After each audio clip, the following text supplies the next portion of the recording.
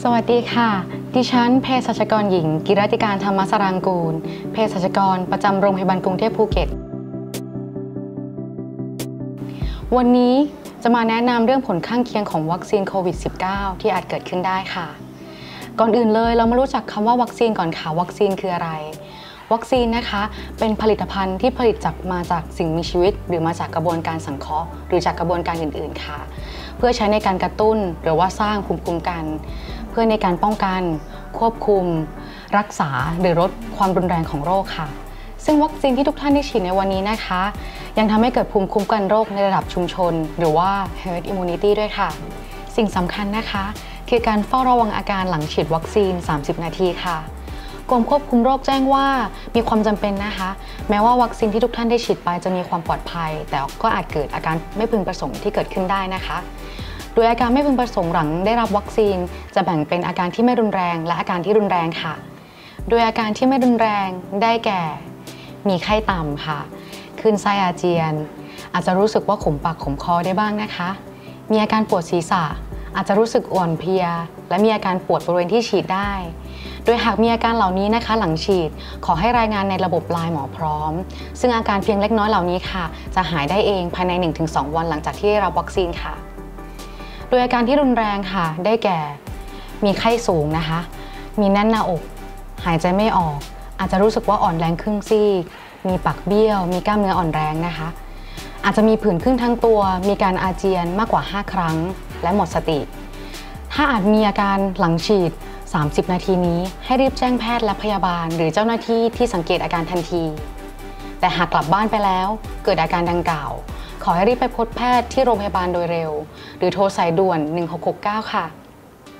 บางท่านนะคะอาจจะสงสัยว่าอาการที่ทุกท่านเป็นอยู่เป็นอาการแพ้ยาหรือแพ้วัคซีนหรือเปล่านะคะ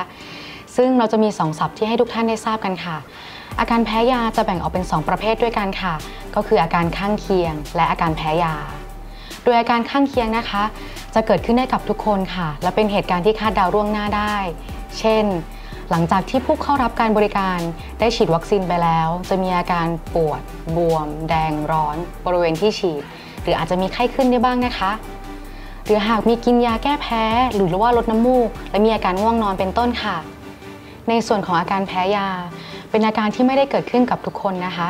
เป็นอาการที่เราคาดเดาไม่ได้ล่วงหน้าว่า ใครจะแพ้ยาหรือแพ้วัคซีนชนิดใดอาการแพ้ยาหรือแพ้วัคซีนค่ะ เช่น มีผื่นขึ้นตามร่างกาย มีปากบวม มีตาบวม หรืออาจจะมีแน่นหน้าอกหายใจไม่ออกร่วมด้วยนะคะ โดยหลังจากที่ผู้เข้ามารับการบริการฉีดวัคซีนเข็มแรกไปเรียบร้อยแล้วนะคะ เราจะมีเกณฑ์ค่ะในการพิจารณารับเข็มที่ 2 ดังนี้ค่ะ ซึ่งจะแบ่งเป็นอาการข้างเคียงที่ไม่รุนแรง และอาการข้างเคียงที่รุนแรงค่ะ โดยอาการไม่พึงประสงค์ที่ไม่รุนแรงนะคะ เช่น มีปวดบวมแดงร้อน บริเวณที่ฉีด มีไข้ขึ้น อาจจะรู้สึกว่าปวดศีรษะอ่อนเพลีย หรือว่ามีผื่นขึ้นนะคะ ซึ่งอาการเหล่านี้ค่ะสามารถพิจารณาให้เข็มที่ 2 ได้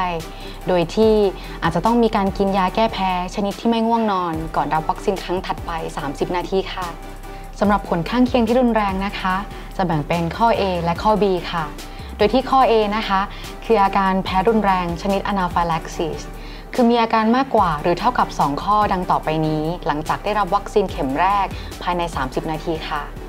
ข้อที่ 1 มีอาการทางระบบผิวหนังหรือเยื่อบุ เช่น มีผื่นขึ้นตามร่างกาย หรือมีอาการบวมของปาก ลิ้น และเพดานปากเป็นต้นค่ะ ข้อที่ 2 มีอาการของทางระบบทางเดินหายใจ เช่น คัดจมูก น้ำมูกไหล เสียงแหบ หรือว่าหอบเหนื่อยเป็นต้นค่ะ ข้อที่ 3 มีความดันเลือดที่ลดลง หรือการทำงานของระบบต่างๆล้มเหลว เช่น เป็นลม อุจจาระราช ปัสสาวะราชเป็นต้นค่ะ ข้อ 4 นะคะ มีอาการของทางระบบทางเดินอาหารค่ะ เช่นปวดท้องคลื่นไส้อาเจียนเป็นต้นค่ะ ในส่วนของข้อ B นะคะคืออาการข้างเคียงใด ๆ ที่รุนแรงที่ต้องปรึกษาผู้เชี่ยวชาญค่ะ โดยผู้ที่มีประวัติในข้อ A และข้อ B นะคะ อาจจะพิจารณาให้วัคซีนโควิด -19 คนละยี่ห้อ หรือคนละแบบที่ไม่มีส่วนผสมที่เหมือนกันค่ะ โดยการฉีดวัคซีนเข็มที่ 2 ให้ตามวันที่กำหนดนัดของวัคซีนเข็มที่ 2 เดิม และสามารถนับต่อเป็นเข็มที่ 2 ได้เลยค่ะคำแนะนำเพิ่มเติมนะคะสำหรับการรับวัคซีนในกรณีที่ผู้เข้ามารับการบริการมีประวัติแพ้ยา แพ้อาหาร หรือแพ้สารก่อภูมิแพ้อื่นมาก่อน แต่ไม่ใช่การแพ้วัคซีนโควิด -19 เข็มแรกนะคะ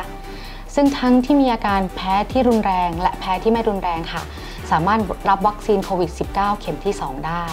แต่จะมีการพิจารณาให้รับประทานยาแก้แพ้กลุ่มแบบที่ไม่มีผลข้างเคียงที่ง่วงนอน ก่อนที่จะฉีดวัคซีนครั้งถัดไป 30 นาทีค่ะ ซึ่งในกลุ่มที่แพ้รุนแรง จะต้องมีการสังเกตอาการที่บ้าน หากมีอาการผิดปกติให้โทรสอบถามที่ 1669 หรือติดต่อโรงพยาบาลใกล้ท่านค่ะ โดยสรุปในภาพรวมนะคะ อาการข้างเคียงหลังฉีดวัคซีนโควิด -19 จะแบ่งเป็น 2 ประเภทด้วยกันค่ะ คืออาการข้างเคียงที่ไม่รุนแรง และอาการข้างเคียงที่รุนแรงค่ะ โดยหากมีอาการรุนแรงค่ะ ควรรีบแจ้งแพทย์ทันที หรือโทรสายด่วน 1669 ค่ะ หลังจากที่ทุกท่านเฝ้าระวังอาการข้างเคียงครบ 30 นาทีแล้ว อย่าลืมมาติดต่อเภสัชกรก่อนเดินทางกลับบ้านที่จุดตรวจสอบก่อนกลับบ้านด้วยนะคะ และอย่าลืมติดตั้งแอปพลิเคชันหมอพร้อม ผ่านการสแกน QR code หรือลิงก์ที่จุดบริการ เพื่อติดตามอาการข้างเคียง และนัดหมายรับวัคซีนในครั้งถัดไปด้วยนะคะ ท้ายนี้ขอขอบคุณข้อมูลจากกรมควบคุมโรคกระทรวงสาธารณสุข และขอขอบคุณผู้เข้ามารับการบริการทุกท่าน ที่ไว้วางใจ ให้โรงพยาบาลกรุงเทพภูเก็ต และเครือ BDMS ดูแลสุขภาพท่านนะคะ ขอขอบพระคุณและสวัสดีค่ะ